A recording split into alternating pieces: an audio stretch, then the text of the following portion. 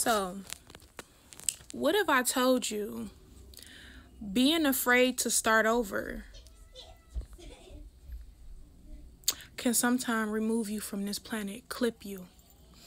A lot of our gods and goddesses has fallen due to that exact reason. They were afraid to start over. They were afraid to lose that home. They were afraid to lose that car. They were afraid to lose that man. And next thing you know, the house get broken too. Somebody come in there and clip them. Next thing you know, the man that they with, he's in love with somebody else or have a baby on the way with somebody else. Or that man um cheats with someone and come back home and give you something you didn't deserve or how about that man take you up out of here because he's jealous that you're gonna someday get up get up and remember to start over and he's gonna be afraid of you leaving so one day he's gonna clip you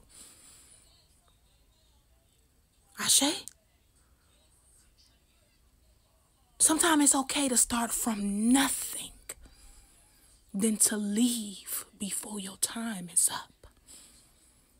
A lot of us has fallen victim to the red flags. We have fallen victim to to just staying because we afraid of change. We don't know what's out there behind that that possibly new house, that possibly new car, that possibly soulmate. But we rather settle with this old dirty ass house to the landlord bullshit.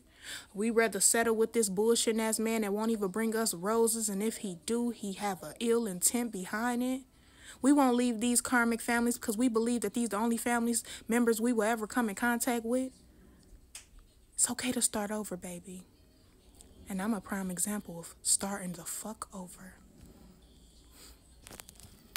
First shit don't succeed. Just pick yourself up. Pick yourself up and try again. Get yourself up and try again. Try again. Yeah, yeah. At first you don't succeed. Just pick yourself up and try again. Pick yourself up and try again. Try again. And I understand that in the Bible so finely when they said that Jesus or somebody, I don't know who. I don't I'm not I didn't write it. I ain't read it in a long time.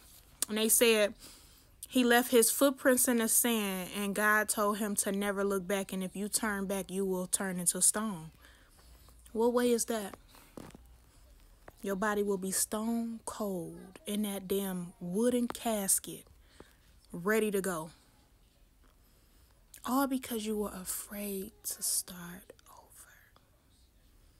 Start over, baby. If you're homeless right now, that means you got something new coming. If you carless right now, that means you have something new coming. If you single and you've been single for a long time and you the last person you left was a karmic lesson, that means you have something new coming.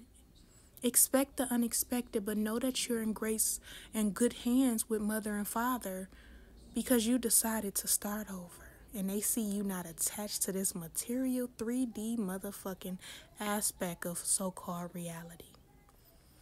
Let's have fun here on this planet, y'all. Ah, I Ashe. I love you. Because I love me, of course. Of course.